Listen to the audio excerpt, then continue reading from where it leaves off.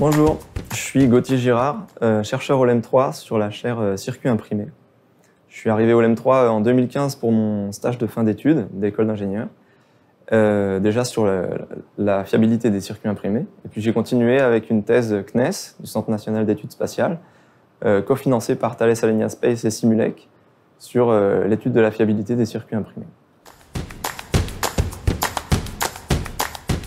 Simulec est une PME fabricant de circuits imprimés qui est basée à Henry, euh, à quelques kilomètres de Metz, et avec qui le laboratoire a l'habitude de collaborer, notamment dernièrement sur le laboratoire commun LEMSI ou sur la chaire euh, circuits imprimés, dont euh, Simulec groupe et MSN. Au cours de ma thèse, je me suis intéressé aux circuits imprimés à applications spatiales, donc notamment des circuits imprimés embarqués dans des satellites. Euh, les circuits imprimés aujourd'hui, c'est des vrais millefeuilles euh, de, matériaux, et des matériaux très différents qui cohabitent assez mal. Euh, un circuit imprimé dans un, satellite, il va devoir subir des chargements en température assez extrêmes quand le satellite est face au soleil ou quand il est à l'ombre. Ça peut passer de moins 150 à plus 150 degrés.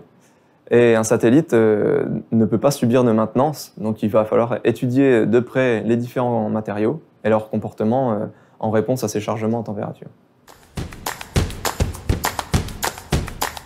J'ai dû développer des méthodes euh, expérimentales et numériques euh, originales. Donc, sur la partie film de cuivre, euh, on aimerait connaître la réponse des films à la fois en traction et en compression. Mais comme il est impossible d'imposer une compression sur un film de, de 20 microns d'épaisseur, il a fallu imaginer une méthode qui consiste à coller le film sur un substrat élastique qui nous permet d'étudier l'ensemble et donc d'avoir la réponse du cuivre en traction et en compression.